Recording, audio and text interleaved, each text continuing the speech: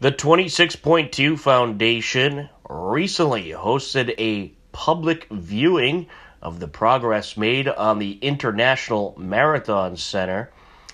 The land has already been approved and they are now in the design process, working with Terry Healy, the co founder and design principal for the multidisciplinary design firm Healy Kohler out of Washington, D.C.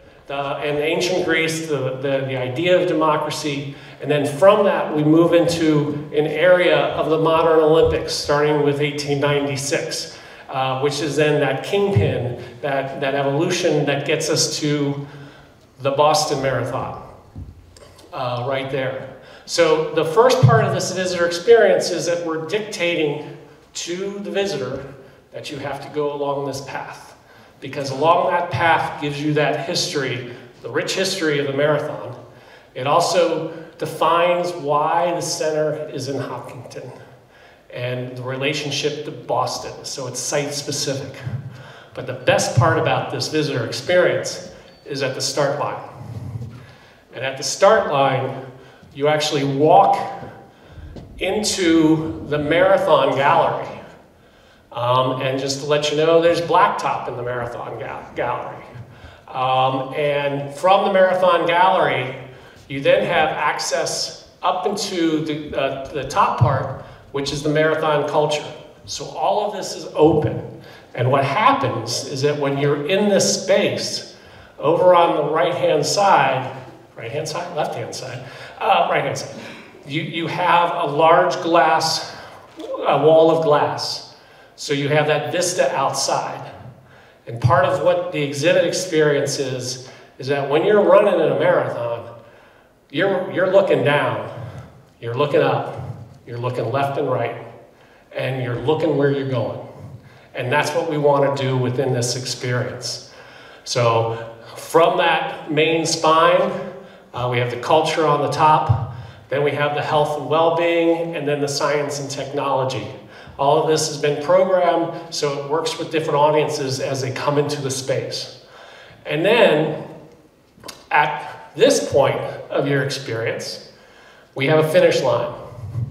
And from the finish line, you go into the Hall of Excellence. And within the Hall of Excellence, you are introduced to those people that inspire, those people that have been associated with the marathon. So, with that, a little bit of a secret about this is that when you start a marathon, and I'm going to show my age, I had to put a little RFID chip in my shoestrings, right? So when you start at the start line, you actually have a bank of computers and you register your name, a little bit about you, uh, age, have you run marathons before, uh, which ones, that kind of stuff. But you register, you get an RFID chip, and as you move through the experience, where you visit Tokyo, which has an interactive screen, uh, London, Chicago, you can personalize your own visit and you can build your own marathon. You can, you're asked to design a route. You are asked to design a logo you can, you, we don't want to say that you're a director, but you can bring, you can design and you can create your fantasy marathon. This is why it's an open area, is that you're starting to see these large cases. We call those uh, uh, open storage type cases. So there's going to be cases that have all the t-shirts that we've all saved right?